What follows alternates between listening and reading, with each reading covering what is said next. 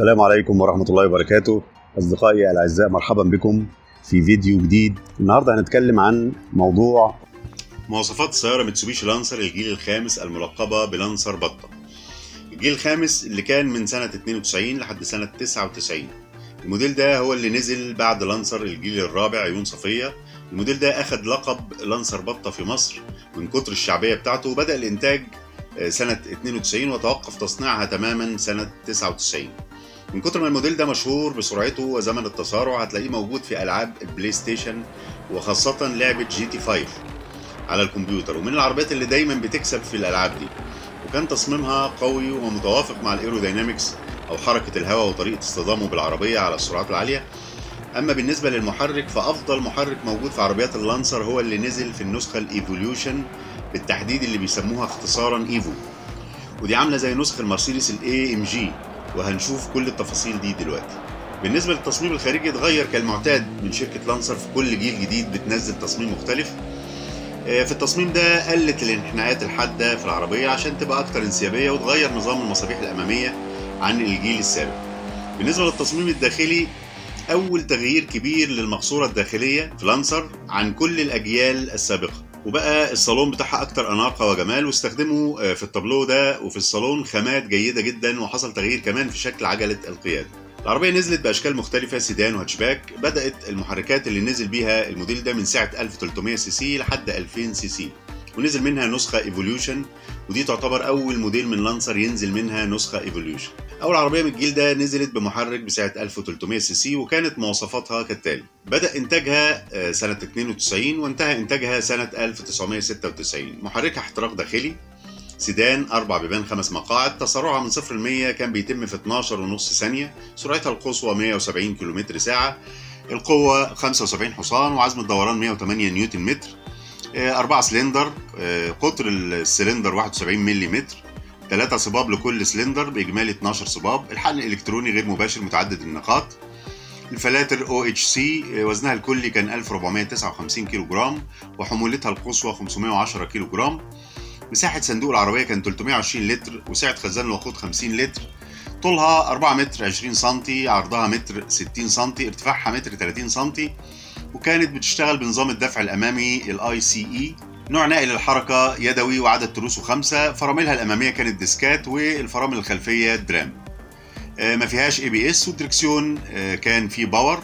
حجم الإطارات بتاعتها كان 13 بوصة 80 155 وفي نفس السنة ظهرت نسخة تانية بسعة محرك أكبر كان 1500 سي سي. كان اسمها CB 3 A وكانت بالمواصفات التالية. محرك برضه احتراق داخلي سيدان أربعة باب خمس مقاعد. تسارعها من صفر ل 100 كانت 12 ونص ثانية. سرعتها القصوى 170 كم ساعة.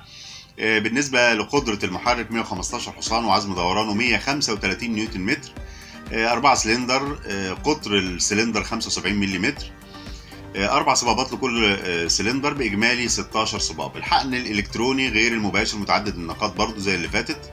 الفلاتر بتاعتها كانت مختلفة كانت DOHC الوزن الكلي 1450 كيلو جرام الحمولة القصوى 510 كيلو جرام مساحة الصندوق كان 320 لتر سعة خزان الوقود 50 لتر. وطول العربية دي كان 4 متر 20 سم عرض متر 60 ارتفاع متر 30 ونظام الدفع كان دفع أمامي ICE برضو زي اللي فاتت.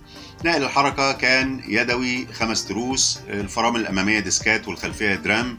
نزلت من غير ABS برضو والدركسيون بتاعها كان فيه power وكان حجم الإطارات 13 بوصة 80 155 نزل بعد كده نسخة بنفس المواصفات ولكن كانت اوتوماتيك أربع تروس وبعدها نزلت نسخة بمحرك أكبر من اللي فات 1600 سي سي وكان اسم النسخة دي CB 4 A ونزلت النسخة دي بالمواصفات التالية.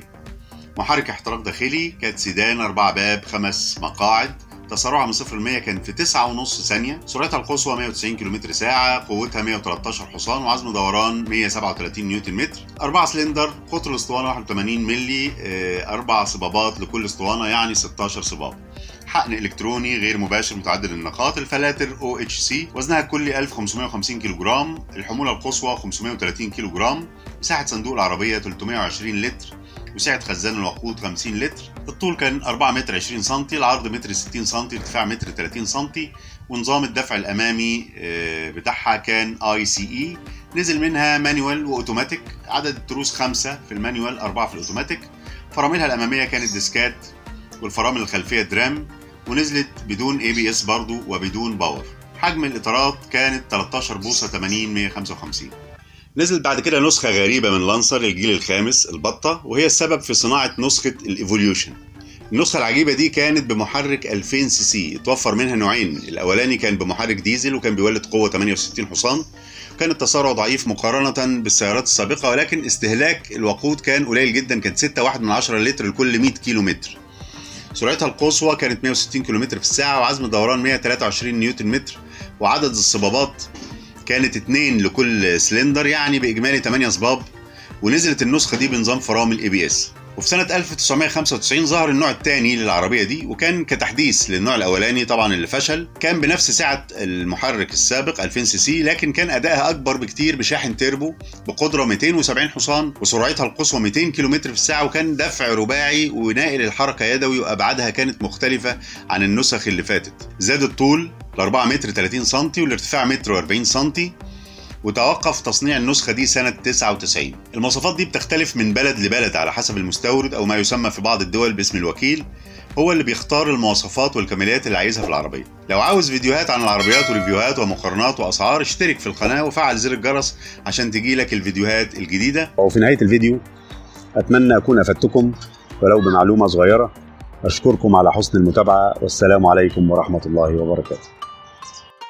إذا أعجبك الفيديو لا تنسى المشاركة والاشتراك بالقناة ليصلك كل جديد.